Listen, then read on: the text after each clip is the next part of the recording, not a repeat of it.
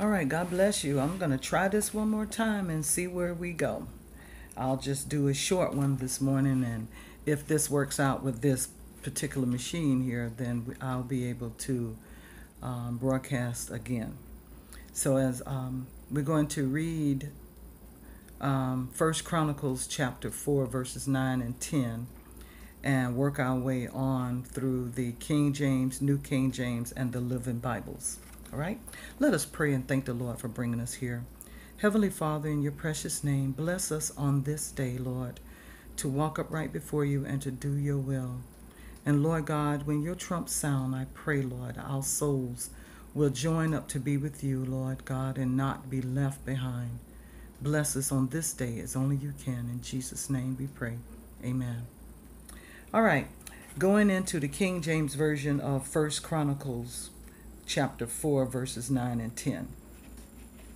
And Jabez was more honorable than his brethren, and his mother called his name Jabez, saying, Because I bear him with sorrow. And Jabez called on the God of Israel, saying, Oh, that thou wouldest indeed, excuse me, oh, that thou wouldest bless me indeed, and enlarge my coast, and that thine hand might be with me, and that thou wouldest keep me from evil, that it may not grieve me. And God granted him that which he requested. That's King James. Now let's look and see what the New King James says. Now Jabez was more honorable than his brothers, and his mother called his name Jabez, saying, Because I bore him in pain.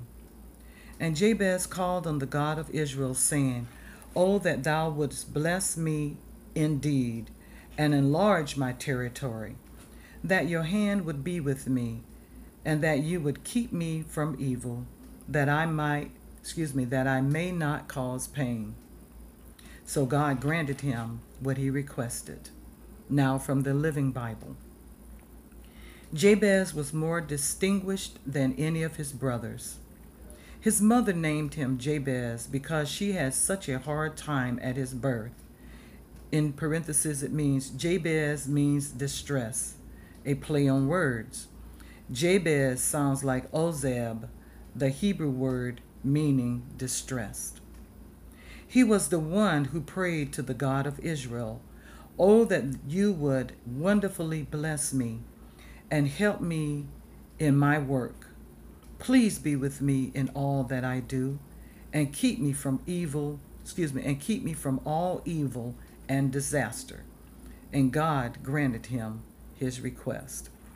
So, just um, wanted to read those scriptures to you today, and if this works, then I will come back with the rest of the lesson. So, God bless you at this time. Peace and blessings unto you.